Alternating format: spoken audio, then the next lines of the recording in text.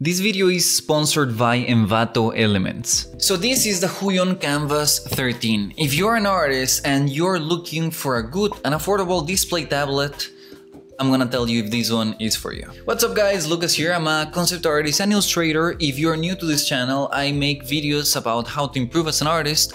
If that is something that you like, consider subscribing. Okay, so while testing this tablet I got to see some really nice things about it and also some cons that you might want to hear before buying the Kamvas 13. Let's start with the pros, okay? First, a couple of disclaimers. This is of course not a touch tablet, that means that you need a pen to be able to use it. And second, you need a computer to use this guy, a computer or a phone, so you need to connect it to a PC for it to be able to paint. First thing that it is great about this tablet is that it doesn't have any wavy or glitchy lines. That of course is the thing that kills the tablet just at the first use. I use this tablet in both Photoshop and Clip Studio Paint that are the two softwares that I use mostly on the computer to paint and in none of them it gave me any type of wavy or glitchy line because that is honestly one of the biggest reasons why people stuck with other brands, more reputable brands, because these newer brands that were coming up, uh, well, are just giving terrible, terrible line quality.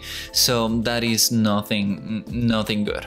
I'm not gonna go, by the way, through all the specifications because if you're here, most probably you know about this tablet, but I'm gonna mention them to you. 8000 levels of pressure on the pen, which is great. I honestly didn't have not felt the difference since the I used my first tablet that was 500 512 till 8000 I honestly don't feel the difference but I guess it's great that they keep increasing the numbers so why not. It has a good screen 120% sRGB so that is cool and it also has plus and minus 60% of tilt range which that is actually something that surprised me in this price range of a tablet. It used to be kind of a, of a premium feature of the premium pro display tablets to be able to have um, some type of dynamics when you tilt the brush and that is uh, that is something that I really like um, because a lot of my brushes use that type of dynamics. Uh, by the way, just shameless disclaimer in here, you can get my brushes that I use for all my personal paintings uh, in the link in the links down there in the description. Second pro, it doesn't have any screen glitching. That means that it doesn't matter how much I, I press because there are some tablets that when you press really hard with a pen, you would have some weird reactions, weird glitching and color changing in the tablet.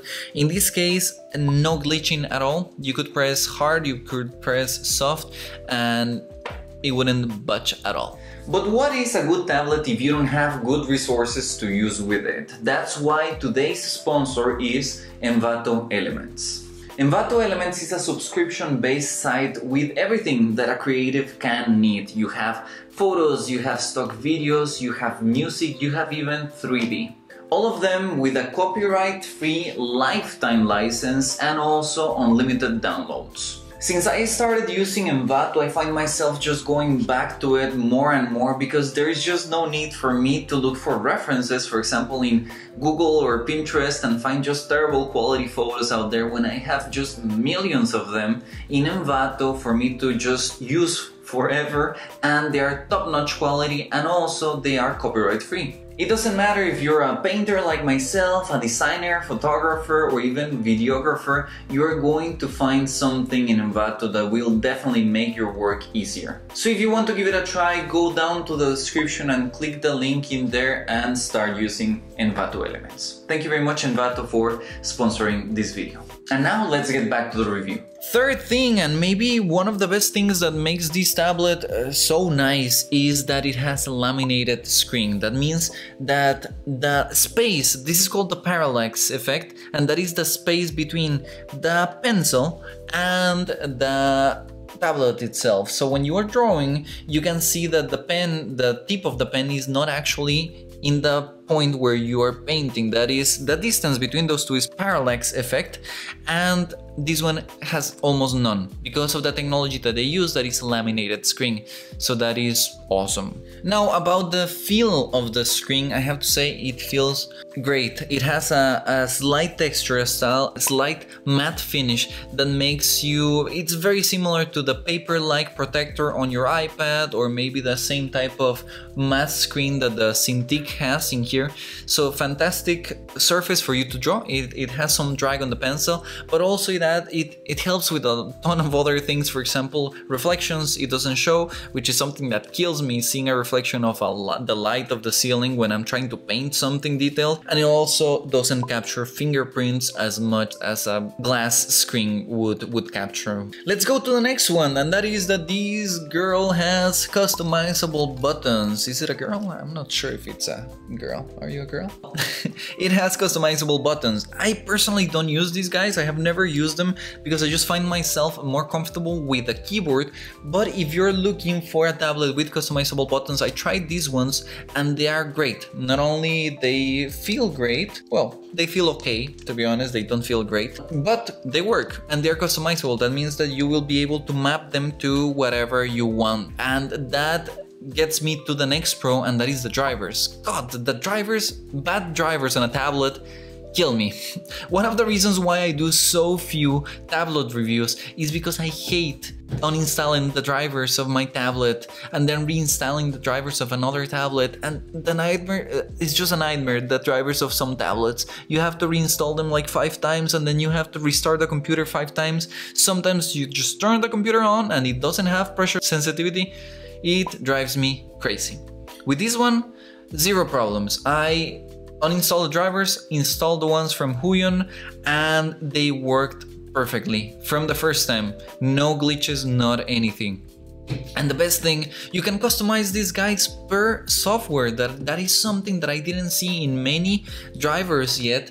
That means that if, for example, you use Photoshop for painting and you use Blender for sculpting, you can do both. You can uh, put the drivers to work a certain way with Blender and a certain way with Photoshop and map not only the buttons on the tablet but also map the little buttons on the pencil that is right here. These two little guys that are right here. So super useful for me and I assume that maybe for some of you will also be. Another pro this guy has USB connection. Sorry USB-C connection. I think that is a must for tablets nowadays uh, to be honest. A lot of computers still have to of course update uh, to to USB Type-C. But if you have one of those computers, you're going to be so thankful when you get to connect this tablet to your computer with one single tiny cable. It makes life so much easier. Let's talk about the biggest pro of this tablet, the price. This tablet is $240 only. Oh my god, $240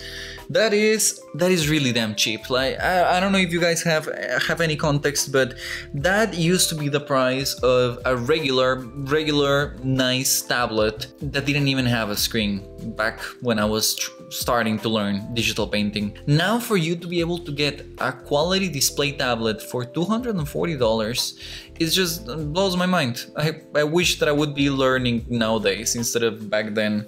Ugh really good price, honestly. What, what, other, what else is there to say? It's, it's a good price. I think I was wrong. The biggest, the biggest pro of this tablet, you have three colors. yeah, it has color options. You can choose between um, fancy green or fancy purple or black. So you can now match your tablet to your shirt. All right, so let's move to the next category, and this is the mid category because it's not a pro and nor is a con.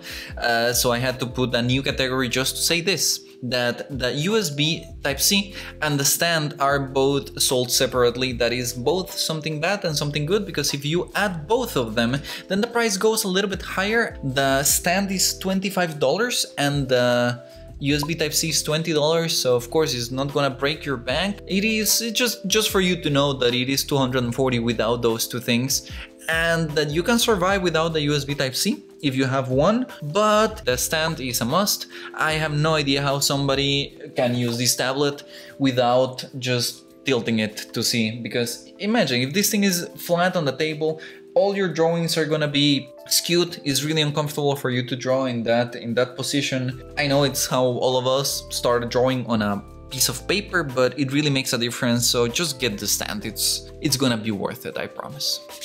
All right let's talk about those cons big big cons for this tablet that maybe will make a change in your decision of going with a Huion Kamvas 13 First one, the weight of the pen. For some of you, it's going to be a deal breaker. For some of you, you're gonna say, Lucas, what are you talking about? I don't care how much the pen weighs. the pen is really light. It's um, it doesn't feel like the most um, the most premium thing. It's very plasticky, it's very light. Uh, I think honestly you can fix this thing if you open it. I tried to just separate it and I couldn't, but maybe you can just risk it and try to open it and I would just put a little bit of whatever inside the, the body, maybe some, some clay or whatever to make it heavier. That would be it. But come on, it's $240, so what what are you even asking for? What are you even complaining about this thing?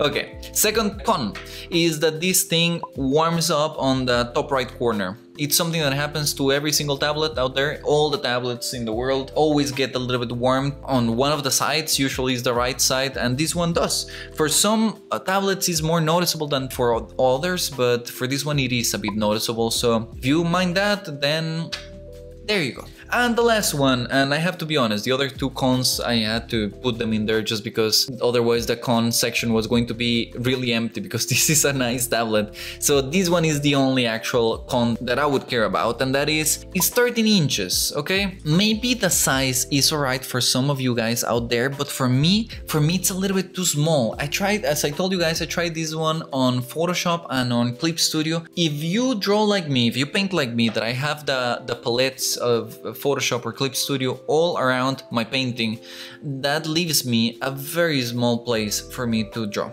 I had to make the UI very small. The UI that means the, the user interface of both softwares very small for me to be able to have some some space, some decent space for me to draw. And that made it uh, hard to read. So if you are somebody that needs glasses that is losing your eyesight, then first of all, I'm sorry. But second, you might have some trouble fitting everything in your screen and at the same time being able to read all the menus and all the tiny, tiny letters. So, is it a really a con? I'm not sure, because 13 inches makes this, this little tablet so easy to take everywhere. You can just slip it in a, in a backpack if you have the type C USB. That means that you just have to throw in there one cable, your laptop, this, and you're set for your to-go package paint digitally. So I don't know, it's a compromise I guess. If you're happy with 13 inches then that is awesome. I would look for, for bigger tablets but I don't usually take my tablet on the go. If I do that then I just take my iPad and, and there you go. So do I recommend this tablet? Absolutely, it is an amazing tablet. Huion, I have reviewed two tablets from, from Huion, uh, one that was not with display and this is the second one that I review and both of them have just blown my mind with how affordable they are and how good of a of a product they are. So absolutely, super recommended. They announced this thing as the your first display tablet. That is like the slogan of the Kamvas 13.